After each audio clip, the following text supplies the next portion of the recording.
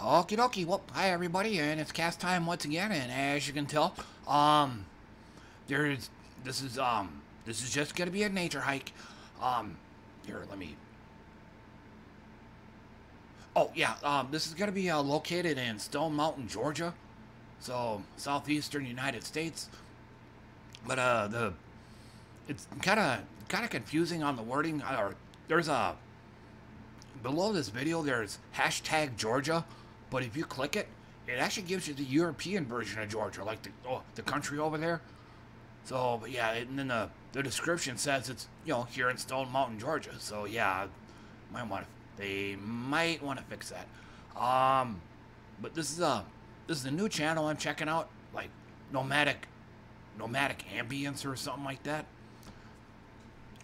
Cause yeah, the um the one I usually go to um 4K relaxation or something like that. They're on one end it's really cool that they're branching out, but on the other hand they're starting to they're starting to add a lot of music and uh, extra sound effects and stuff. And I think on one of the vid- one of the recent videos, they're even uh, adding narration.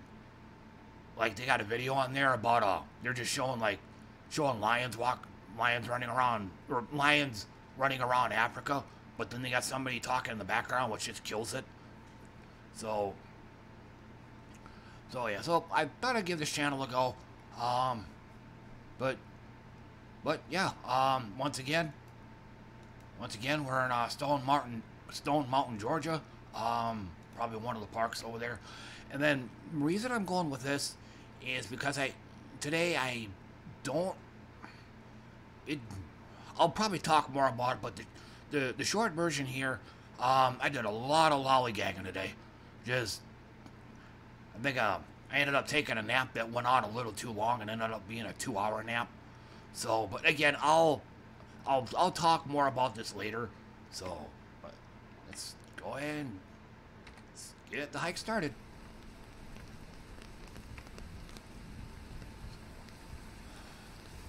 Um, but okay, and right off the bat, headphones have to come off. I've been having a problem with them ever since for the past week. Um, but yeah, they're I got a wire issue. Um, that means uh, the right ear just keeps cutting in and out. So I'm getting tired of yanking it, tired of holding it in one place. So off they go. But otherwise, um, for today's stream, um, it actually went pretty good again. Uh, despite me getting uh, really crappy sleep, just had some uh, had major sinus problems because uh, I think yesterday, um, yesterday and beyond yesterday, I think the weather was probably in the uh, in the 60s or 70s. Well, all of a sudden today it just dipped down into the 30s and 40s. Usually, whenever the weather changes that suddenly, it messes with my sinuses. So, yeah, kind of, kind of hard to sleep when my nose is plugged up. I think I was using nasal spray, but you you can't use it too often Otherwise, it, it, it triggers an OD effect where it has the opposite effect. Like it actually plugs up your nose. So, like I said, I ma made a couple attempts, but there the relief was only temporary. Um, but yeah, anyway, anyway, um, so, uh, on my stream, just did my usual, um, or actually, my usual yet not usual, I did my usual idle game medley, um, I started with idling the rule of the gods, and um, I was gonna start with uh, idle research again, but uh, one of my regulars came on and suggested, uh, "Hey, how about um, how about Grim Clicker? It's been a while since you played that one." So I figured, eh, why not? So, um, considering it was a game that I haven't played in a few years, there was a lot of catching up. So it was pretty messy because the uh, the when the game does its offline calculations, it's going to be going back a few years. So yeah, I'm thinking, um, last I checked, the game has to be logged in at over 10,000 hours. But, um, actually, you know what? I got my Steam page open on that. Let me, uh, let me take a look at that real quick.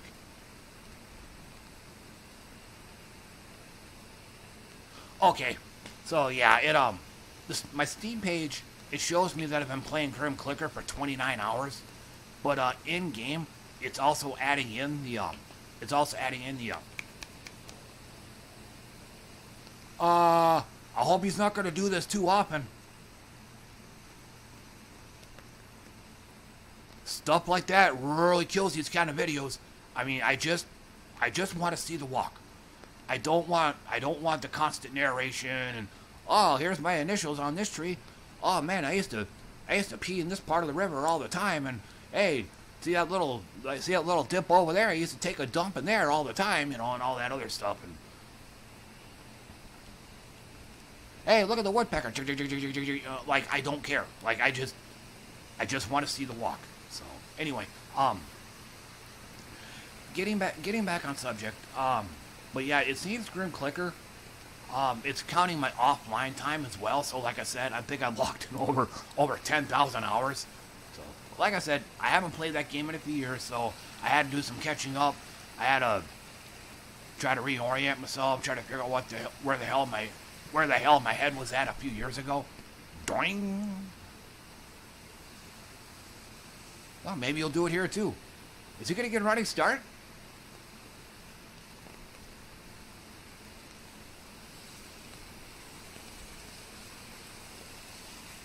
Oh, damn. Is he going to go for it?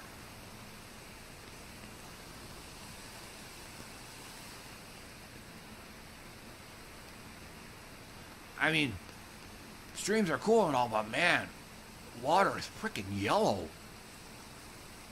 I wonder where. I wonder what the source is like. Doing.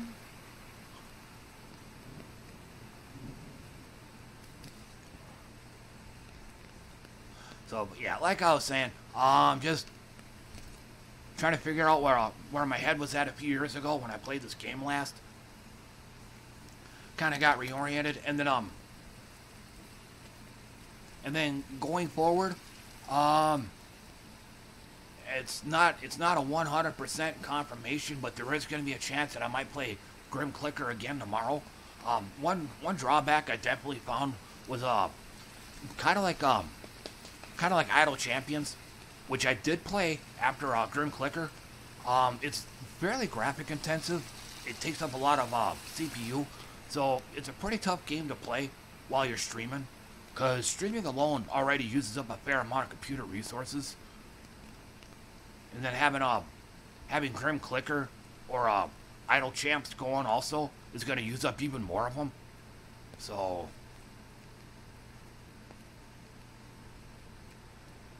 But originally I was gonna I was gonna fire up Trimps afterwards.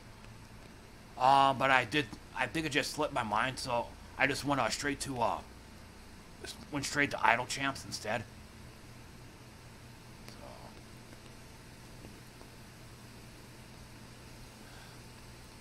Oh, what's he doing? I just saw the umbrella come down.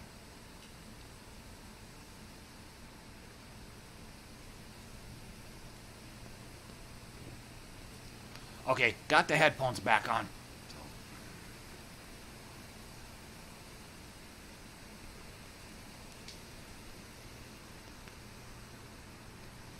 Uh, but otherwise, that's, that's pretty much it on the stream. And then um later on, later on, I did do a, I did do a, a quickie pinball FX3 session. It actually went pretty good. Um, I beat, um, I think I played, uh, what was it? Oh, God, my brain farted. I know one of the tables I played was Funhouse, and I did beat the high score on that. Um, let me see if I can pull it up. Oh, never mind, never mind, I don't have to. And um, I also played the uh, Star Wars Droids table, um, and I actually beat the high score on it. So, like I said, uh, a pretty good time on FX3, or a pretty good time on the uh, matchup tables. But uh, and I did try. Uh, I did check out the tournament scene, but uh, none of the none of the tables I saw had any beatable scores. So, gave it a miss. Um, and I was gonna play uh, Pinball Arcade. Was gonna do a session on that, but I was considering how considering how terrible I was yesterday, I wasn't even going to bother doing it today. Um, But uh, I do need I do need to make a quick change here.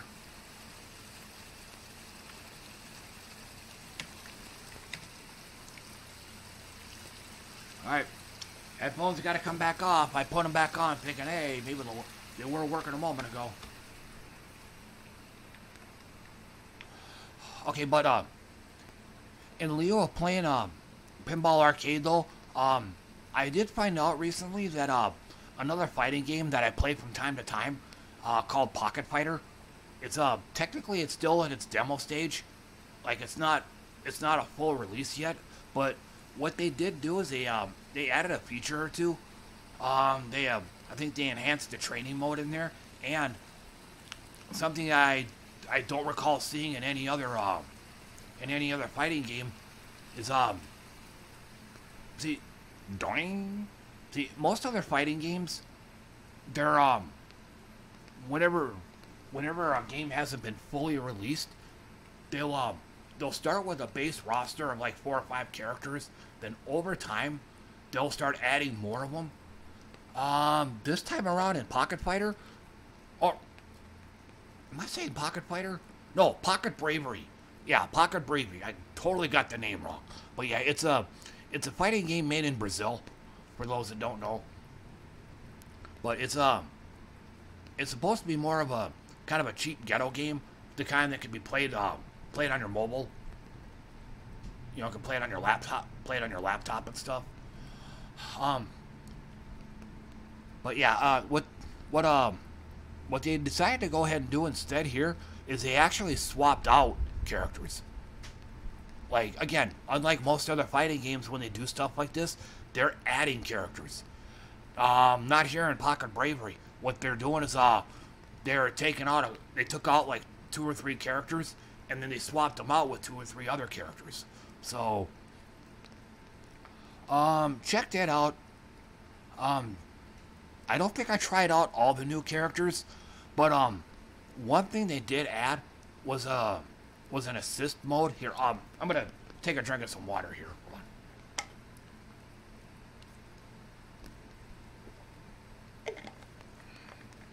But yeah, anyway, they um they swapped some characters out, and um, I think they um they made a few improvements to the training mode, and on top of that, um, they also added an assist mode or um, a one button special mode.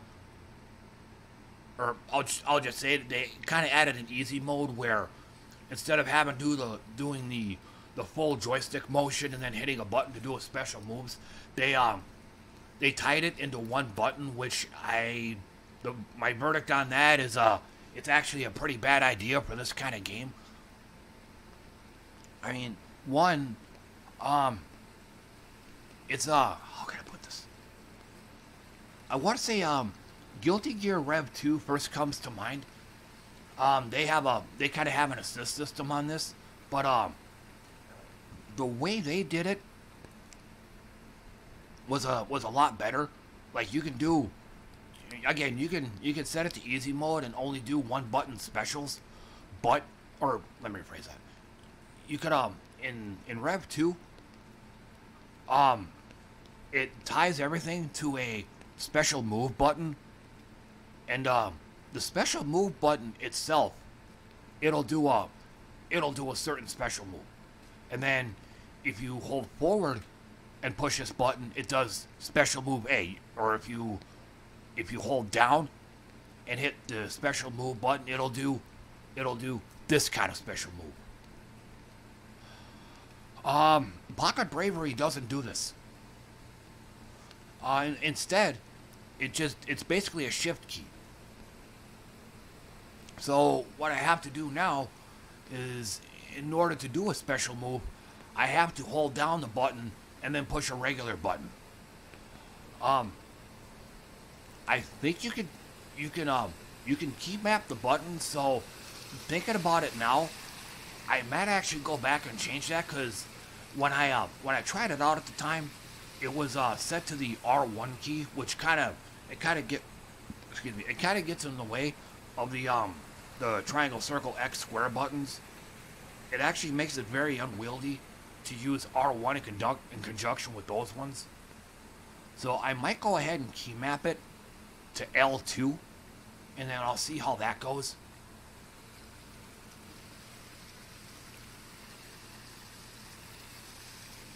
So, but, but, like I said, that was, um, but yeah, it, it's kind of a bad idea to have because it doesn't really make things that much easier. It gets, it just made it to where, uh, just, just doing the normal motion inputs was actually a lot easier than holding down R1 and a button.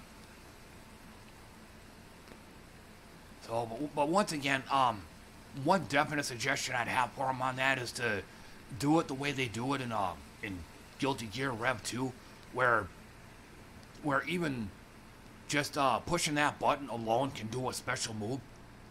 And um, have the specials tied into which way you're moving at the, at the time you hit the button rather than having to hold down R1 plus this. Yeah because that that makes it it makes it almost harder to pull to me harder to pull off than just doing the doing the special move the normal way. So and then the second problem I have with that assist mode, but um, I think a lot of other fighting games also have this issue too, is um, it you can um, it's it basically replaces the normal um, the normal control mapping. Like you can either do assist mode or not, either normal or assist, but you can't have both at the same time. Killer Instinct is a bright shiny example of this because they're um to me that game probably has my favorite assist mode because you can have it turned on, but it's not gonna. But it won't stop you from doing normal inputting the uh, special moves in the normal way. So it doesn't block you out. So you can you have two options with how you want to do your specials. You can either do those specials via assist mode, or you can do it. You can just do it with the normal motion inputs. So you can do either or. Pocket Bravery needs to do that. I mean, again, especially with the uh, with how unwieldy the assist system, with the assist with the assist way the assist system works. Um, English is my second language right now, so my first language being gibberish. So.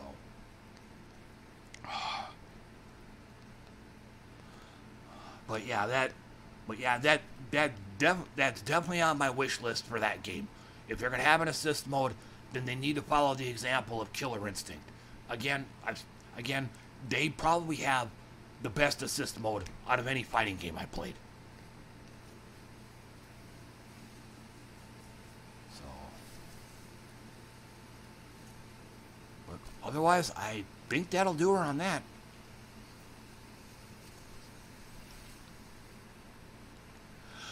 Uh, but uh, another thing, another thing that happened is, um, well, my uh, my frontline check came in. Yay! But not quite the seven hundred and fifty dollars that was uh, promised us, though. I mean, it, it's like nearly at least every month I'm getting this. I'm getting an email saying the seven hundred and fifty dollar checks are on the way, or congratulations, you have been approved for the frontline bonus, or whatever it's called, and then I look at what I got, it was like 480 bucks. Not quite the 750 that I was expecting, that I'm sure a lot of other people are expecting. In fact, um, since I have it out, let me go ahead and let me go ahead and take a quickie look at that. So let me go ahead and Google that. So let's let's type down 50 frontline workers bonus.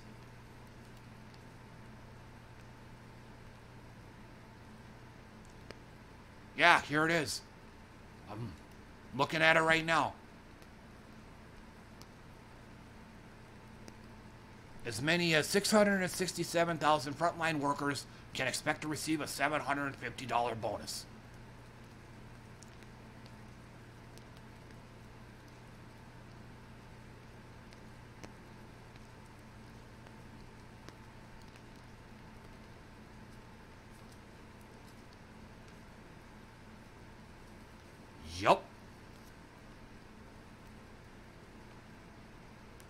So I'm thinking we all got fucked at the last second.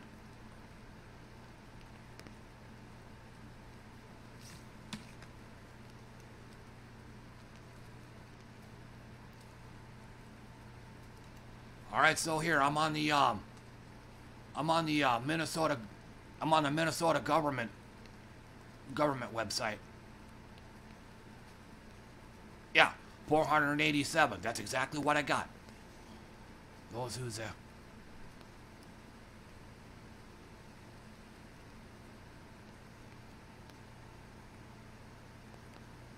So yeah, we, we kind of got fuckled on this, because once again, all of all of us were uh, we were promised 750 bucks.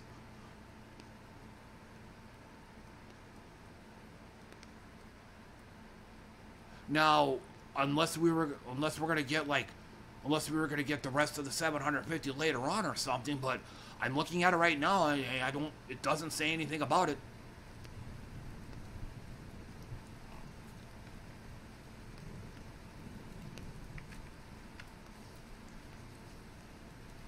Mean, every little bit helps, you know.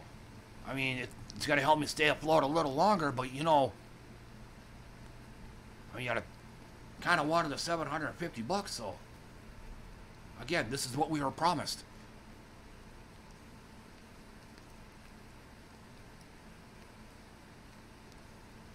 Well, it's going a lot off the beaten path.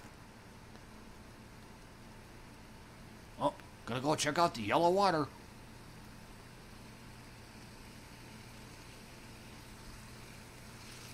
Must be a whole lot of peeing going on upstream.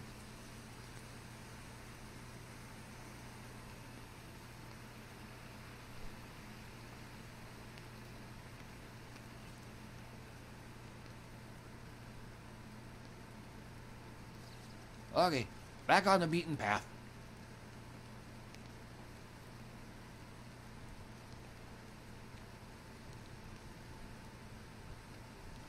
God damn it.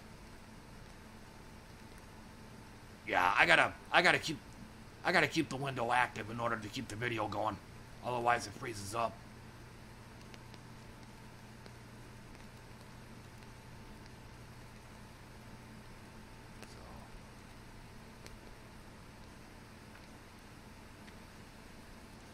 Actually, you know what? Ew. Freaking red line. But anyway, yeah, um, I'll just go ahead and call it good here. Because I believe I said all the things that I wanted to say today. And like I said, I didn't, aside from the few things I mentioned, um, I was pretty much a lazy ass today. Just ended up, ended up taking a nap that went a bit over long. Or considering the uh, bad sleep I had this morning, it wasn't, didn't surprise me much. So, but otherwise, um, otherwise, thanks to, or otherwise, thanks for uh, thanks for tuning in and listening to me, everybody. And like I said, my it seems uh, English is my second language right now. My fir- my primary language being gibberish at the moment. Um, but thanks for uh, dropping in and hanging out with me, everybody. I appreciate that. And um, I should be able to do another one of these tomorrow. So, but until then, thanks again for coming by, everybody, and I'll see you all next time.